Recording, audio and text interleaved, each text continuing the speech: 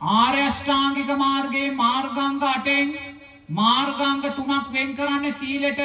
මුදින් තේරුම් ගන්න සීලයෙන් තොල නිවනක් නැහැ. සීලයෙන් තොල සම්මා සමාධයක් නැහැ. වර්තමානය එක එක අලුත් අලුත් සංදර්ශන සමාජගත වෙනවා. සෝවාන් පලට පත් වෙන සීලය ඕනි නෑ රහත් වෙන සීලය ඕනි නෑ කියලා. පිහතුනී මේවා මිච්චා ධර්මයන්. ආර්යෂ්ඨාංගික මාර්ගයේ මාර්ගංග තුනක් සීලේට වෙන් කරන්න සීලෙන් තොර සම්මා සමාධයක් ලෝකෙ නැහැ. සීලෙන් තොර විමුක්තියක් ලෝකෙ නැහැ. නිසා සීලේ ජීවිතයට අත්‍යවශ්‍යයි සම්මා සමාධිය උදෙසා. සීලේට දාල පළවෙනි මාර්ගංගය සම්මා වාචා. යහපත් වචන කතා කරන්න. මුසාවාදා පිසුනාවාචා පනුසාවාචා සම්පප්පලාවන්ගෙන් බැහැරවෙන්න පිමුතුනී වචනය සංවර වෙන්න ඕනේ. වචනය සංවර නොවී කමදාක්වත් අපිට සම්මා සමාධියට යන්න බෑ. නමුත් බලන්න අපි උදේ ඉඳන් රෑ වෙනකම් කොච්චර නම් මිච්ඡා වචන කතා කරනවද? සම්පප්පලාපයන් කොච්චර කතා කරනවද? පිස්සුණු වචන කොච්චර කතා කරනවද? දුරකථනයක් අතේ තියාගෙන උදේ ඉඳන් රෑ වෙනකම් මොකද කරන්නේ? සෝවාන් ඵලය අහිමි කරගන්නවා. පිංහතුනි බලන්නකෝ සල්ලි දීලා සෝවාන් ඵලය අහිමි කරගන්න බෞද්ධ ජනතාවක් බවට අපේ රටේ ජනතාව පත් වෙලා තියෙනවා. සල්ලි දීලා සෝවාන් ඵලය අහිමි කරගන්නවා. මිච්ඡා වචන කතා කරලා පිසුණු වචන කතා කරලා. පිංහතුනි කවදද අපි සෝවාන් ඵලයට පත් වෙන්නේ? ඇයි ඔබලා පින්කමක් කරලා ප්‍රාර්ථනා කරන්නේ මට නිවන් දකින්න මේ පින හේතු වේවා කියලා? ඇයි ඔබ ප්‍රාර්ථනා කරන්න නිවන් දකින්න නේද? සංසාරයේ ඔබ දැන් කල්ප කීයක ඉඳන් ඕක ප්‍රාර්ථනා කළාද? නමුත් ලැබුණද? පින්වතුනි අතීත බුදුරජාණන් වහන්සේලා ලක්ෂ ගාණක් පහළ වෙලා තියෙනවා.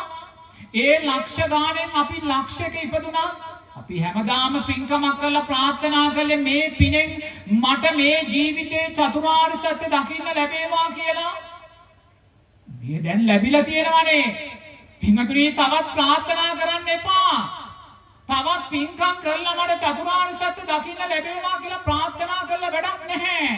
අතට ලැබුණු චතුරාර්ය සත්‍ය ඔබ අතහරිනවා නම් අතට ලැබුණ චතුරාර්ය සත්‍ය ඔබ අතහරිනවා නම් ඔබ පාවිච්චි කරන දුරකථනයෙන් ඔබ සම්මා වාචා මිච්ඡා වාචාවක් කරනවා නම් ඔබ පාවිච්චි කරන දුරකථනයෙන් සල්ලි ගෙවලා ඔබ සෝවාන් ඵලේ පා කියනවා නම් පින්කම් කරලා අවසානයේ නිවන් ලැබේවා කියලා ප්‍රාර්ථනා කිරීම තේරුමක් නැහැ. මේ ජීවිතේ නිවන ඔබ ඉදිරියේ තියෙනවා.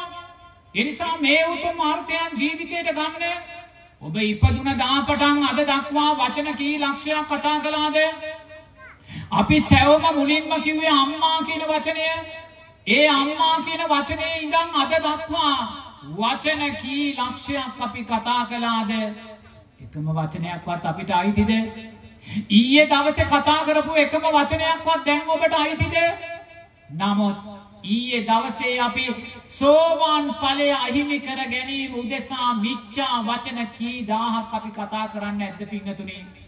හිතන්න නුවණින් දකින්න නුවණින් දකින්න බුදුරජාණන් වහන්සේ ඔබට කතා කරන්න එපා කියලා නෑ. පිංගතුනි සීල කතා දාන කතා නෙක්ඛම්ම කතා මේ මාර්ගයට අදාළ කතා ඕන තරම් තියෙනවා කුසලයේ වැඩෙන කතා නිවන වැඩෙන කතා. ඔබ කරන වචනය කතා කරන වචනය නිවන උදෙසා යොමු කරගන්න. ඔබ කරන කතාව සම්මා සමාධියට උපයෝගී කරගන්න. පින්තුනි මාර්ගය වැඩෙනවා. මාර්ගය වැඩෙනවා ඔබේ වචනය. නිවන උදෙසා ඔබට උපකාර වෙනවා. නමුත් ඔබේ වචනය උපකාර වෙන්නේ මිච්ඡා වාචා උදෙසා නම්. අපි වචනයක් වචනයක් පාසා නිවනින් ඈත් වෙනවා කියන කාරණය ඔබ තේරුම් ගන්න ඕනේ.